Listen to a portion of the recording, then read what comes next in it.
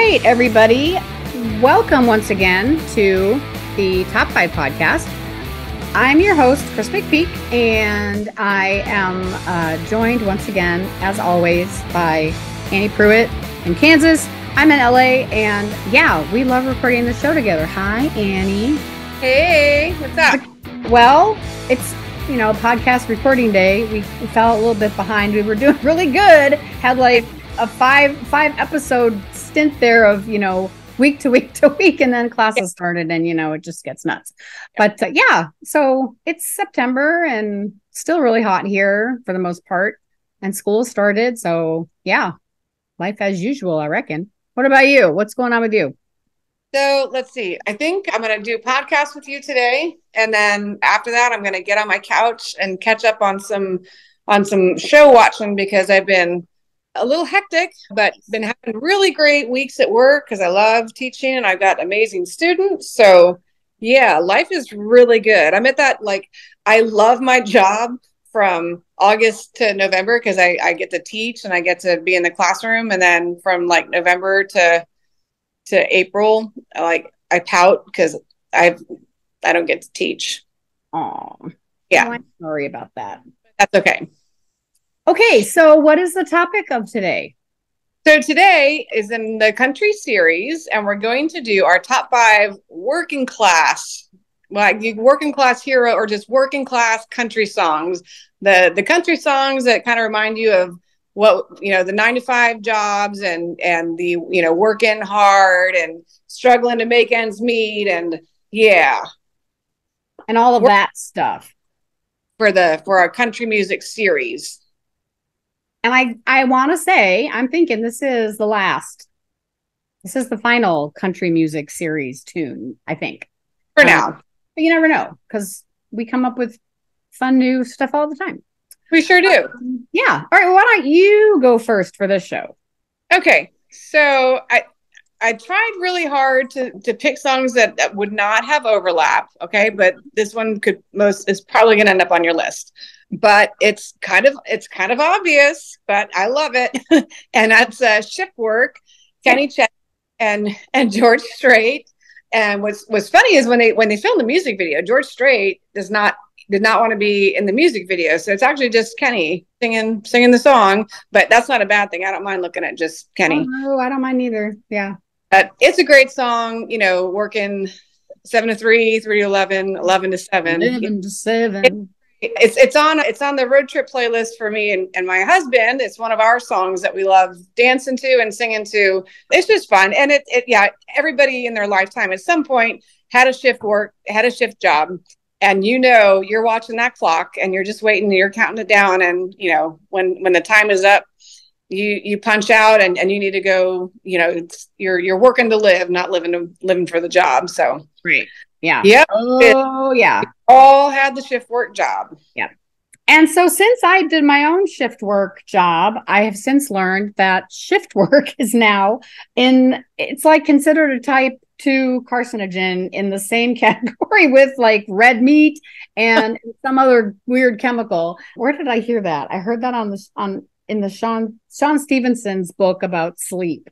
Charles did a, Charles has done a, a crap ton of shift work over the years. And yeah, it it wears you down for sure.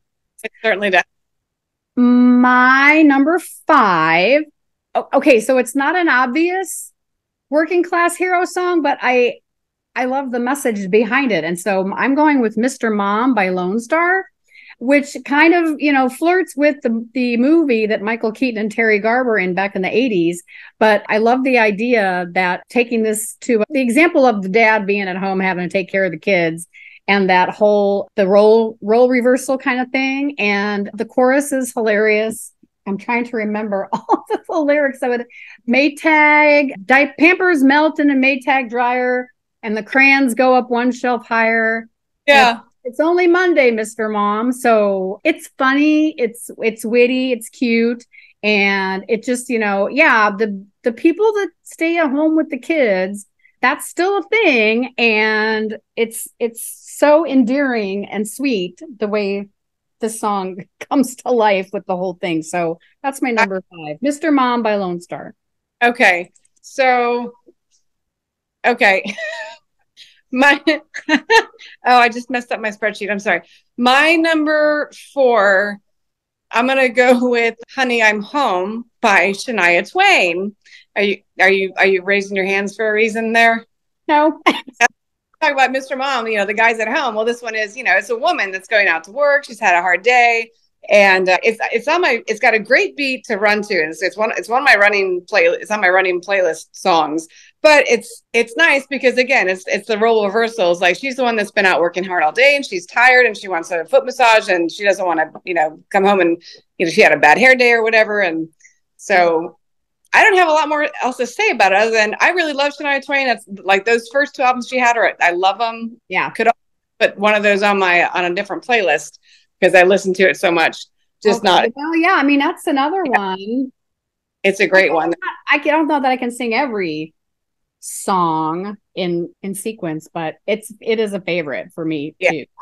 Well, I'll just say that "Honey, I'm Home" is on my list as well, and okay. echo that. So I'll I'll put it at number three since we're we're here and talking about that. Yeah, I well, I love the message. I love the whole like or isn't it? Old one and rub my feet and give me something to eat and yes, those things.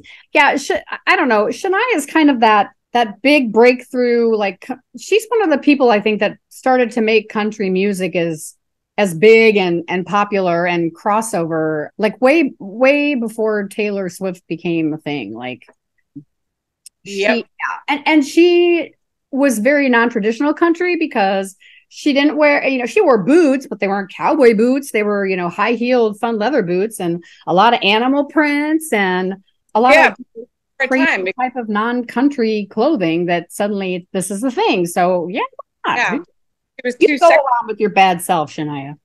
How can she be too sexy? Are you are you kidding me? There's no way. Yeah. Can't be done. All right so that's your number four then.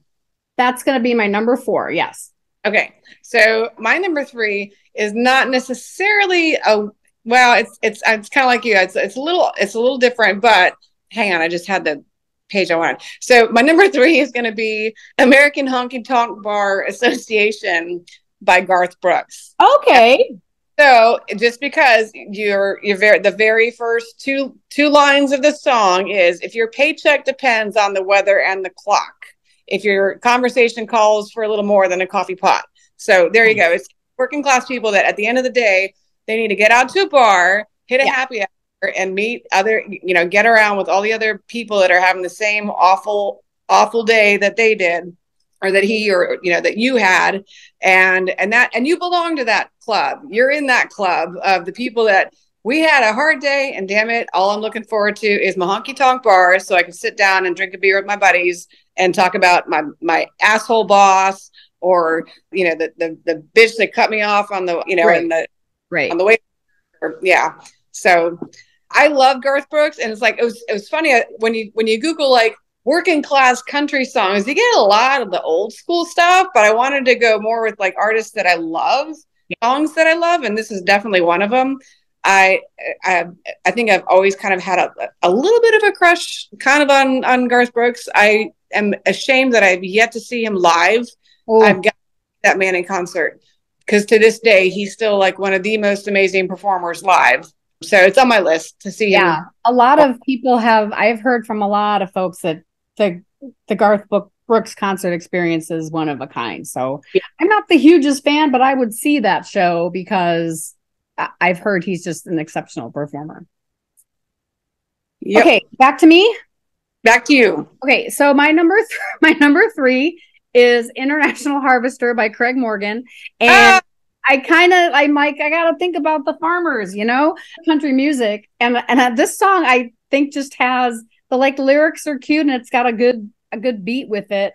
He's a son of a third generation farmer and he's been married 10 years to the farmer's daughter. And he's a God fearing, hard working com- combine driver hogging up the road with his flower. I was all excited to hear that part of the song. Chug a chug a lug a lug five miles an hour. But yeah, so this song's fun and totally echoing the the what the the role that the farmers play and talk about working class heroes. Oh my God, you know they're up at the crack of dawn, even before, and and at bed super late, doing the harvest and planting the crops and this that and the other thing and and that's that song just i don't know it makes me appreciate what those what those folks have to do and and it's not so much like you know individual personal farms anymore because everything's become so government and corporate and all this crap but so yeah i don't know this song just makes me happy and it's like cheers to you to the farmers because y'all work harder than probably anybody anymore or before you know what I'm saying. Um, yeah. So yeah, that's that story. okay. My number two, big surprise, no surprise actually. And I kind of, I, I went back and forth on this one. It's not a traditional country song, uh-huh. but uh-huh. I, I like it. And it, you know, this, this particular artist could easily perform in a country bar. And that is all I want to do. Sheryl Crow. Not a country song, but you know, it kind of fits the mold because you I know it. Thing, all I want to do is have some fun. I can't like right now off the top of my head, I, like I'm drawing a blank with the lyrics, but I just think to myself is, you know, you've worked all week, you've had a tough time by the weekend. All I want to do is have some fun. So I was thinking about uh, this list was hard for me because I didn't want to go with the traditional, you know, Conway Twitty. Oh, yeah. So I went a little outside of the box, but I do love Sheryl Crow, and I think about like working a hard day, that's kind of where my mind goes. Yeah. So, I love yeah. that song. And I remember that song being really popular when when we were moving to Washington. And that album, Sheryl Crow's first album, Tuesday something, had Leaving Las Vegas on it, and and that's all I want to do uh, the, the songs and the lyrics have a weird a weird rhythm of style the way that they're sang that they're sang sung i like a good beer buzz early in the morning and billy likes to rip the labels from his bottles of bud and that's i mean it's all kind of crunched together but then later there's another another kind of i don't know crunchy group, group of lyrics that come together and you're kind of like her songs are hard to sing at yeah. least from this album they are i've tried to do this one and leaving las vegas at karaoke and uh, she kind of got she her her lyrics rolled together better a few albums later, but not not this record. Yeah, a little woohoo. Cool. Yeah, I love. I I do like Sheryl Crow. I've seen her in concert. I want to say three three times. Oh um, wow! And the best one by far was uh, seeing her at the Ryman Auditorium. She had a, I mean, not a full orchestra, but she had a, a small orchestra up on the stage with her, and she, her and and Sarah McLachlan are two artists that sound better live than they do recorded. And i i will stand by that until the day i die. Really powerful strong voices that don't need altering at all.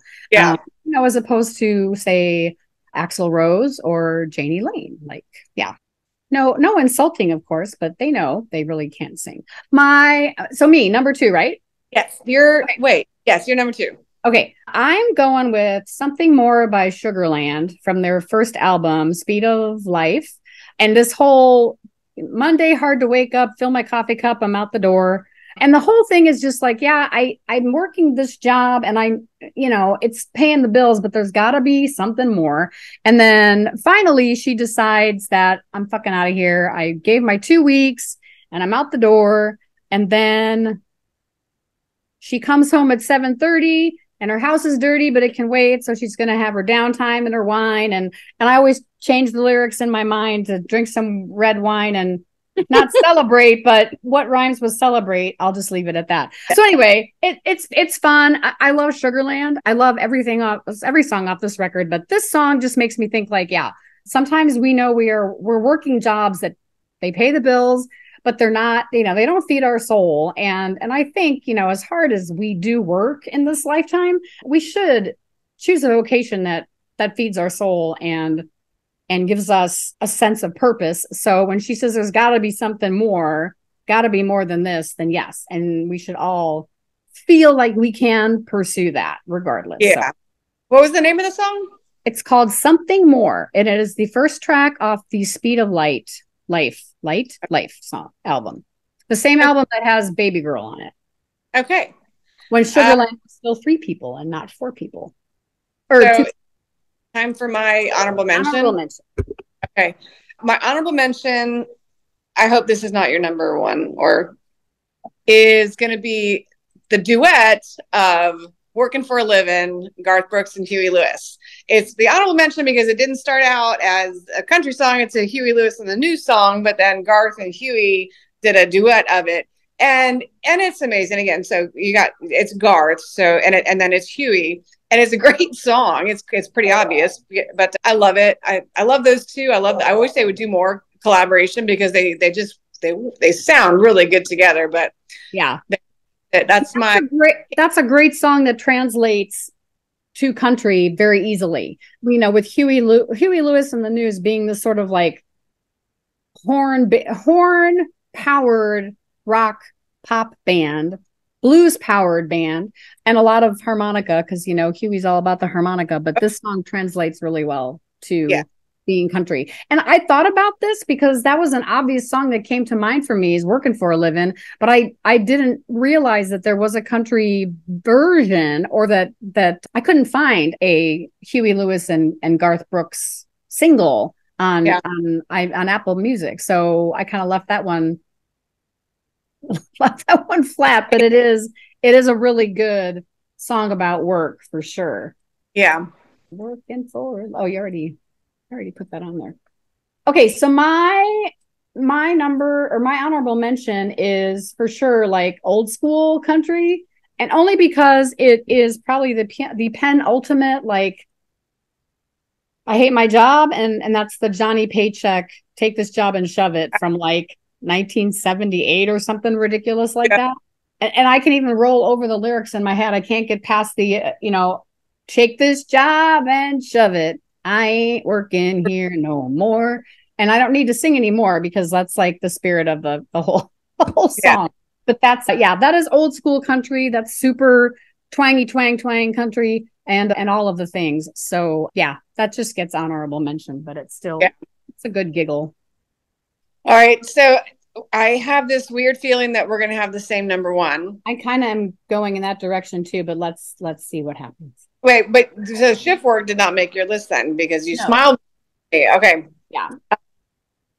So okay, I'm just gonna go with it. It's, it's it's the most obvious, but I love it, and I love this singer. Nine to Five, Dolly Parton. I love her. Was that your number one? Nope, it wasn't. Okay. Oh, good. Okay. Yay. Yay. Yay. Here's and the, the background, the backstory to this is, you know, she's doing the movie before she writes the song. So that, you know, the the movie needs a song, you know, the hook, this, you know, the fun thing. And so she's she's coming up with the the song and she's she's singing it for for Jane Fonda and Lily Tomlin, and she's clicking her fingernails on the table as she starts singing it, and they just tell her stop. That's it. That's what we want, and that's oh, the the the the tick tick tick tick in the in the song, that's because they love the way her fingernails were tapping on the table. So, but it's it's pretty much if you've never seen the movie, it's amazing. Dolly Parton is the um, she's one of America's sweethearts. I adore her. But yeah, tumble out of bed, stumble to the kitchen, pour myself a cup of ambition, yawn and stretch, and try to come to life. So yep. I will. Be, I won't even try to sing Dolly, but it's such a great. It's such a great song, and like even when I hear it on the radio, my kids start singing along. Or you know, when we're in the car, and it comes on the radio, or if it comes on yeah. our playlist, the kids know it, and it's it's the quintessential working hard every day song. Yeah. There yeah. you go. Yeah. Number one. That is a great song. And I thought about that song. I thought that that song was going to be so obvious that one of us would cover it. So yeah. I'll go the other direction because this is the other, for me, this is this is the obvious working class hero song. And I, so I went with 40 Hour Week by Alabama. Oh. Um, and yeah, I, th- this song, this was like, I don't know, four albums in for Alabama. So we were already in Arkansas, but I think I might, it might have already been like halfway through high school before this one came out. But yeah, th- this is, this is kind of an uplifting, like, we know that there are people that that work hard jobs and we all put in our 40 hours. It kind of reminds me when I think of this song, I also think of There Is No I in Beer by Brad Paisley, although that's not really a working class hero song, but he does like salute, you know, all these different different fields And hang on, I'm going to pull the lyrics up for this because it kind of, hold on, everybody. Okay, it's time a few of them are recognized. So now here we're going to salute all these amazing people that work super hard. So it's Detroit auto workers, Pittsburgh steel mill workers, and then we've got the Kansas wheat field farmer and the West Virginia coal miner. And I I thought they covered nurses in here too, but yeah, I so this this song just makes me happy because it's it's very complimentary of people that work really really really hard. And and sometimes I think we don't even think about these these vocations anymore because so much of this stuff has become automated or farmed out or sent to China or Mexico whatever, but this was kind of I think what the idea of work was built on that we we find our place in the circle where we can contribute. And and all of these fields like industrialization how all that kind of stuff started. So and yeah. you know you can't you can't go wrong with alabama. They're just they're they're classic country royalty. So yeah that's my number one. I love it. Thank you. This is a fun list. This is going to be an epic playlist for shizzle. Definitely and, and definitely one that you know you have to you need to listen to it on your way home. Yes. Absolutely oh that yeah that'll be a great commuting song. Yes a, a great commuting playlist and that all of a sudden makes me think that we should do a commuters playlist like a pump up to go to work top five show oh, yeah or what are like- your top five going to work songs Yes. Set the tone for the day for you. Hmm. I love. Okay, so that's going to come down the pipe. Let's recap. I'll go first. Okay. Uh, my honorable mention is Take This Job and Shove It. And then from five to one, Lonestars, Mr. Mom, Craig Morgan's International Harvester, Honey, I'm Home, Shania Twain, Something More, Sugarland, and 40 Hour Week by Alabama. Okay, I love it. I just lost where did I put this? Um, okay, so my honorable mention, working for a living, Garth Brooks and Huey Lewis. Uh, and then from five to one, shift work, Kenny Chesney and George Strait. Uh, number four, Honey, I'm Home, Shania Twain. Number three, American Honky Tonk Bar Association by Garth Brooks. Uh, number two, All I Want to Do, Sheryl Crow, because I really love that song. And then number one, Nine to Five, American Sweet. Yeah, you had more ladies on your. I list. did. That's pretty cool That's pretty cool. Shift work. Well, all right. So that gets us through another amazing week of top five podcast list song things. We have not done, we've done a crap ton of music shows lately. We need to take a we need to take a look at our our overall list and maybe yeah. a reboot. So this is the part where I say if you have any ideas of a top five list that you want us to cover on this show, we would love to hear that. And you can send us an email at hello at the top five podcast.com. No idea will be displaced or ignored. And we'll definitely mention you on the air if we don't do your list, but we'll still probably do your list because, you know, this is a brain racking activity, people. You know, not everybody can do this. Annie and I can do it but we we love your ideas. So send them over, right? Absolutely. Absolutely. Okay. Thanks again for downloading the show. I do have to say this that we really appreciate each and every one of you that download the show and listen every week. And we definitely want to hear from you. What what do you like? What do you not like? So again, the email is hello at the top five podcast.com. For Annie Pruitt, I'm Kris McPeak, and we will catch you on the flip side once again with another amazing, enticing, exciting, and inclusive episode of the Top 5 Podcast. We will see you then. Bye.